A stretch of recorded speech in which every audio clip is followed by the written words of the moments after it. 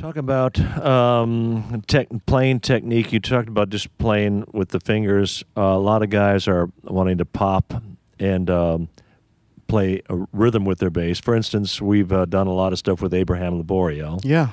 And uh, you know the the joke with Abraham is you got to hire Abraham and a bass player because you know he's he's all over the place, but that's Abe. That's what he does. Yeah. And then and then uh, once w- once Integrity came out with that. Do do do do do do I know. do do do do that little solo my line. Yes. And then everybody wanted to do that solo line, and um, and, and then uh, and everybody wanted to pop like Abe was popping. Yeah. And and we got a whole generation of very very busy bass players uh, trying to be Abraham Laboriel. Right. Talk about that technique and uh, Um, how much you use it. That uh, technique. Um, it's funny. I, I rarely use it in, in worship. Maybe um, maybe playing gospel or playing fusion is probably the only place I'll use it. Um, and with getting into slapping, the thing that uh, people who are learning uh, make the mistake of doing is forgetting the groove. Um, the pulse when I'm playing with my fingers is still the pulse when I'm slapping. So um, so here's a here's a groove. I'll give you an example.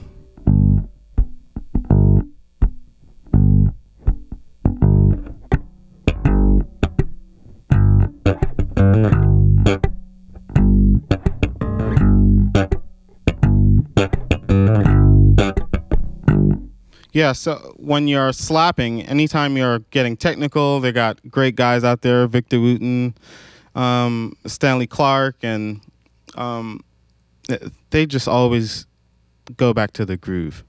So um, something that you can go home and practice. Um, uh, usually, with uh, the first thing you do is um, I would just start with the thumb. So is lining up with the string and pretty much just hitting off of it. So you hit the E string and land on the A string. So I'll sit there and just practice that for a while with a click.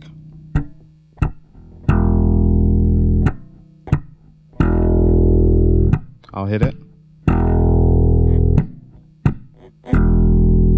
Muting with my left hand. Yeah, so uh, I'll start off just practicing that. And then uh, you could probably go on YouTube and find out all the details. Look up Victor Wooten and so on. They explain it probably much better than I can. But um, whatever you do, whatever you're going for, practice and um, and do it to a metronome. Um, uh, and never forget the groove, the the foundation. So.